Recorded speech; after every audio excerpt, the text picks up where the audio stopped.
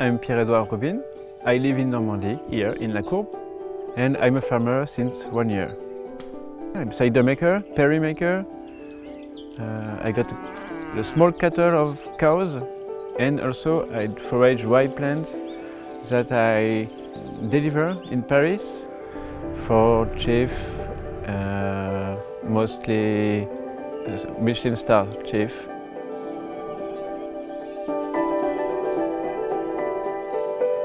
My name is Thibaut, uh, Gaizen Thibaut. I'm from uh, Belgium.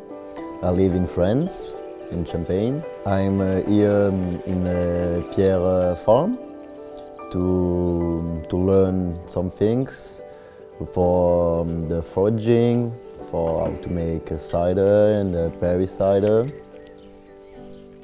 Uh, after working for many years in um, organic agriculture and uh, at the final at the mayor office of Paris, I leave Paris in 2016. I decided to leave the city because uh, the, my job uh, and living in Paris uh, did not make sense for me.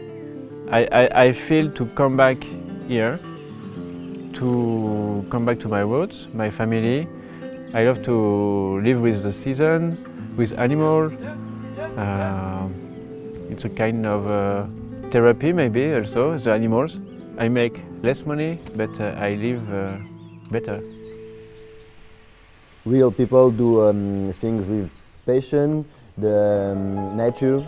I really like it. I, I want to, to walk um, on the forest to, to pick up some um, things I found during the different seasons. To, to eat well, I think also it's, uh, it's a reason also. And um, yeah, it's just less stressful because when you, like, like me, when you work on restoration in Paris, you make, it's, it's really stressful in the city and uh, everything. I can't, I can't compare. I like the both, but I really prefer the, um, the countryside.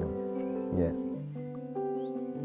Clara, she's uh, an artist in Paris, Carla Sutra, and so she is here to draw by the hand 50 bottles of a special cuvée.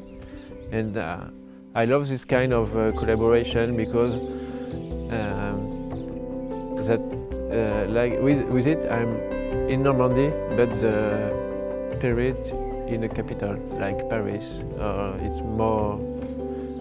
I think it's not very rural in the in our mind, but um, for me, uh, it's uh, it's good to open the farm to meet uh, other kind of people and to share. We share a lot.